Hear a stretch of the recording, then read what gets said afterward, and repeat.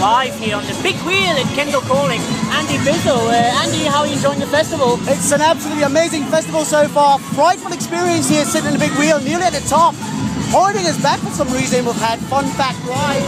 Absolutely amazing. Going up higher. We are going up higher, and it's part of the attraction uh, to get up really, really high and, and just taking all the view of the festival. And Um, one more last word, the campsite banner as well. Meeting new friends, it's like joining the army. You meet close friends.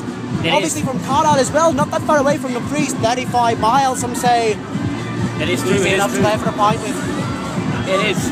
That- Especially earlier, uh, because of course they serve drink a lot earlier. I am scared. This is uh, obviously This Craig is- and Andy's views, not the BBC's. And as long as you know, we're on the big wheel, Kendal Calling, one of the best festivals yet. Probably the best. Best Small Festival 2010 2011. Will it win it uh, next year? Check NME for listings. Um, thanks Also- very much. Also, Craig going for the world's fastest Texas 2012 slash 13. Will it make it through to 13? No. Obviously, the QWERTY keyboard being in much of a more of a struggle. And of course, uh, Craig being linked with Siri, uh, having some sort of inside information. Does it affect it, and uh, can he come in a robot voice? Your views, your thoughts. Another question: Do you think Craig should get his iPhone jailbroken? Eight double one double nine. Your thoughts, your views. Remember, this is a question question. asked by Craig himself, not the BBC. And asked by Beyonce, uh, tell me what you think about me.